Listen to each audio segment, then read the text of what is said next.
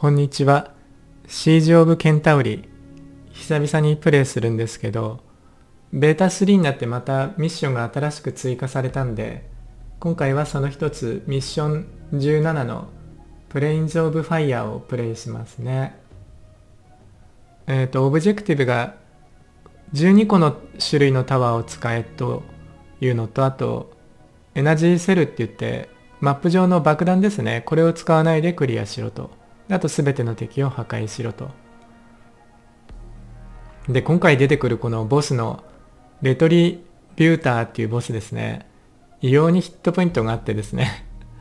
ちょっとこのハードとかナイトメアだと全然やっつけられないんで今回はノーマルでやりますね。で、イクイップ。まあ、12個の種類のタワーって持ってけるタワー全部ってことなんですよね。まあ、いつもの通りミノスキャノンとドローンベイを主に使っていくんですけどね。で、やってみるか。で、まあこういうなんかストーリーが実装されたみたいなんですけど 今までやってないんで何のこっちゃって感じなんですけどね。えっ、ー、とね、ペルセポネのノートはうまく働いたわと。何日か前にシグナルを送ったんだけど今返事が来たと。で解析する必要はあるけどうまくやれたわと。我々は、あ、私は、彼らと話す最初の人間になるのよと。 substrate なんか物質とか気質とかっていう意味だそうなんですけど、物質とか気質とかと話す最初の人間になるのよと。でもなんかこの惑星の何か物質とかとなんかコミュニケーションを取ろうとしてるみたいですね、このポリーナさんは。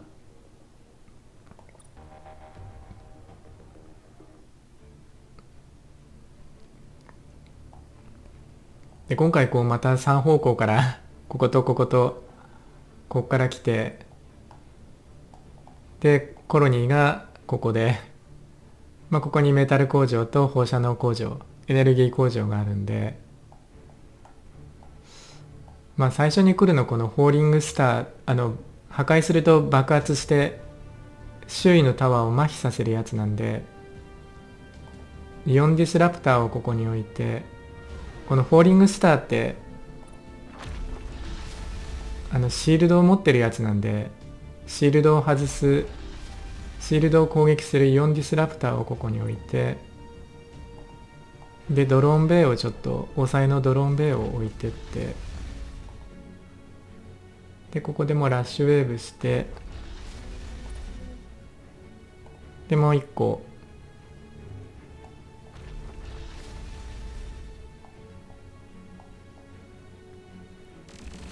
うん。こうやってシールドを外してくれんだけどね。もうこの人外れてるんだからこっちを攻撃してほしいですよね。全くもう。でもこのコロニーをレベル2にアップグレードして200使って。でここにスカベンジャーのジュールを置いて。で次に来るのがスパローね。空中の敵なんでファルコンアンチエアをここに置いときますね。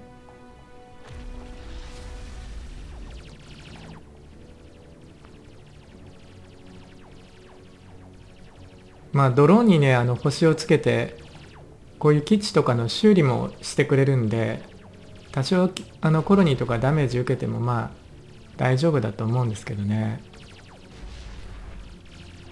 あこれでこの爆発に巻き込まれて麻痺してますよね。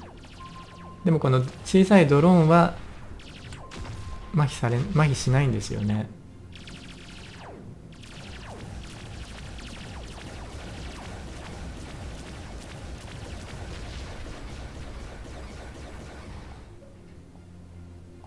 で次にあここのねスカベンジャーモジュールもちょっとアップグレードしといてこっちにもちょっと置いとくか。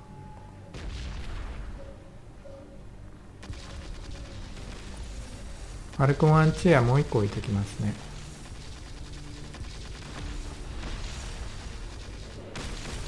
でね今回この orbital 兵器の disruption beam っていうのをさっき言ったボスキャラに使いたいんでなるべくエネルギーは貯めておきたいんですよね。貯めておかないとねとっても倒せないんですよ。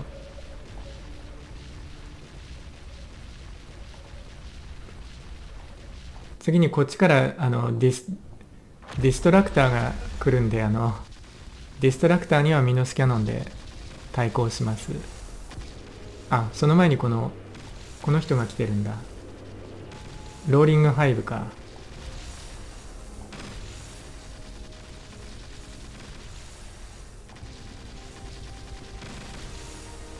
ここもちょっとここのドローンベイをちょっとレベルアップして。ローリングこのねローリングハイブって後ろから空中ユニットを出してるんですよね。空母なんですよ。だから本当は早めに倒したいんですけどね。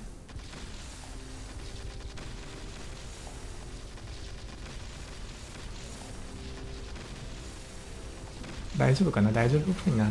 あまずいまずい。この人。この。ミノスキャノンをオーバーチャージしないとディスラディストラクターは倒せないですね。次またスパローか。もうちょっとファルコンアンチェア置いとこうかな。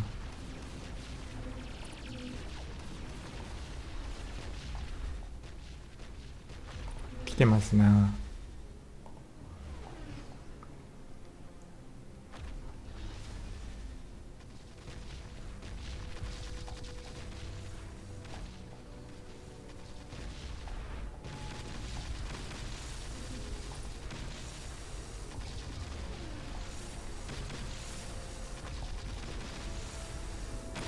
この辺にもちょっとスカベンジャーノジュール置いとくか。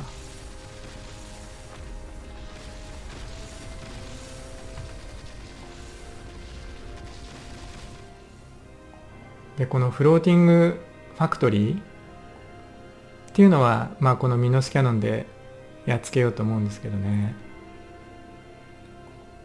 次にエラディケーターが来るんでこいつのバリアはここのイオンディスラプターで外そうと思うんですけどね。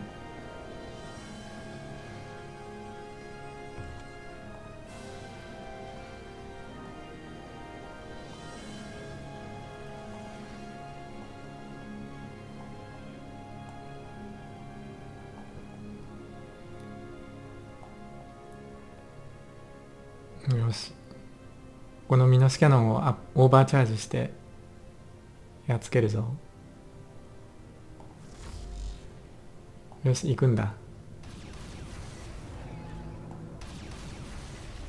うんオービタルストライク。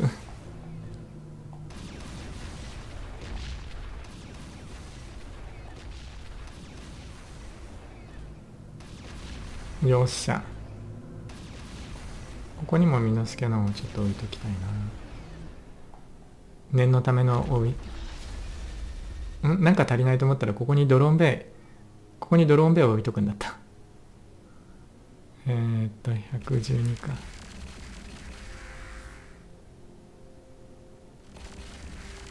もう一回ここのミノスキャノンにオーバーチャージしてこれでエラディケーターをやっつけてくれるかな。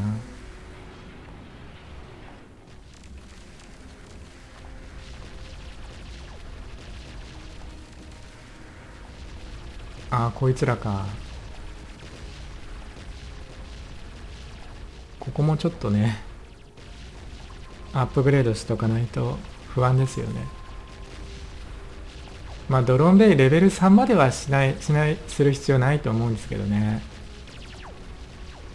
で次に来るのこのパニッシャーなんですけどこいつは空中を飛ぶ強い敵なんでこっちはこのイカロスサムっていうのでこれは1匹のまあロケットですね。空中の強い敵に対抗するロケットもある程度ちょっと置いとかないとまずいってわけなんですよ。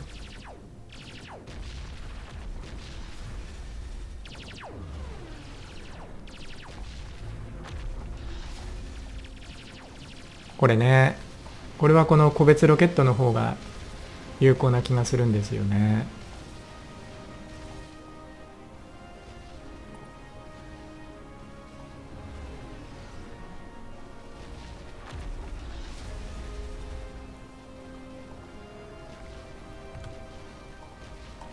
ょっとまたスカベンジャーノジュール置いといて。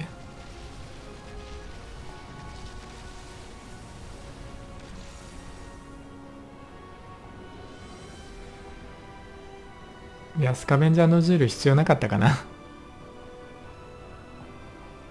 あとこのローリングハイブが来るんで。まあこいつ本当はここにミノスキャノンを置いて。やっつけたかったんだがちょっと足りなかった。計算が狂った。ここに置いてね。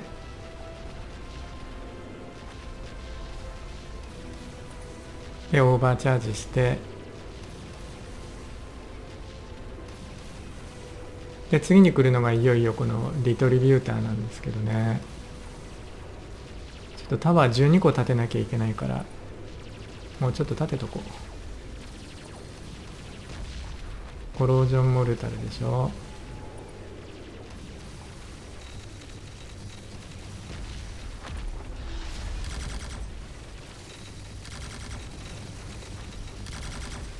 あと1個かな。あと1個ねこの stasis hammer ですね。これは敵の攻撃を抑えるってやつなんだけど。あでこれが例のボスですよ。こいつのシールドが外れたらこの disruption beam をお見舞いしてやります。これで半分ぐらい。もう一回当てないと。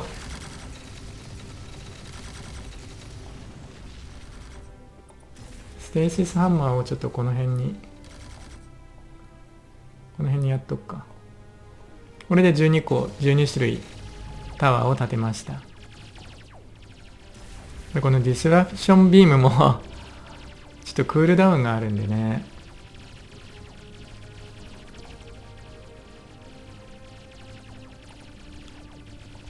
これで死んでくれ。よっしゃ。で次が、まあ、フローティングファクトリー。まあスパローも来るんだけど。ちょっとねここでもう一個コロニーをレベル3までアップグレードしておいて。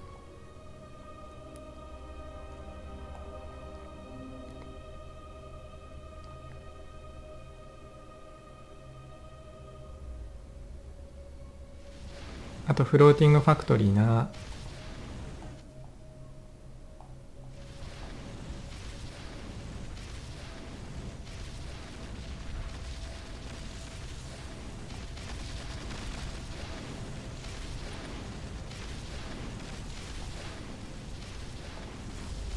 オーバーチャージしよう。あれ大丈夫なんだかこれ。空中の敵は。大丈夫っぽいな。よし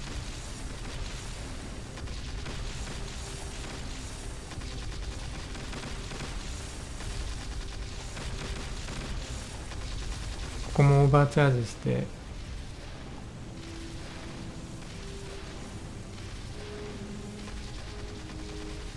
あこれがステーシスハンマーの威力ですよ。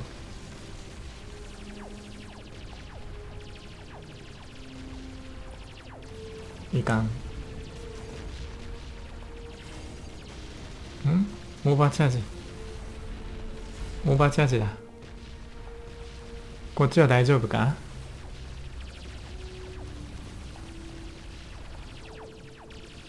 よしやっつけたなこっちは。あとはこっちだけだ。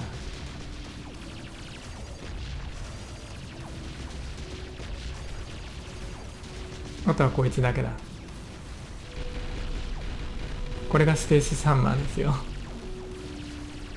3秒間敵を止めるっていう能力かなるほどな。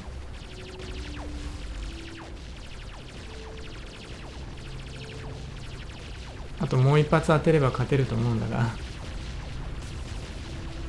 よし。あとは雑魚敵だけだ。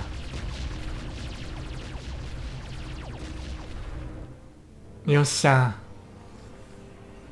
今回ねこのヘルスボーナスとかオブジェクティブボーナスのスコアが異様に高いんでこっちのまあハードとかナイトメアでキルズスコアのパーセントを上げるよりは ノーマルレベルでやってヘルスボーナスとかオブジェクティブボーナスをしっかり取る方がスコアは高くなったんですよね。それでは終わりますね。ご視聴ありがとうございました。